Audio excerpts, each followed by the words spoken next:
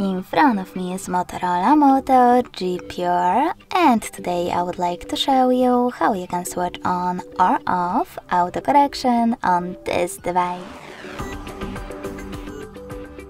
You need to begin by opening settings and scrolling all the way down. Then tap on system. Now click on languages and input, on-screen keyboard and Gboard. Finally, select text correction and click on this switcher next to auto correction to switch it off or on.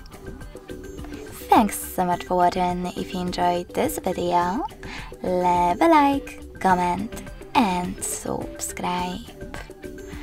Bye!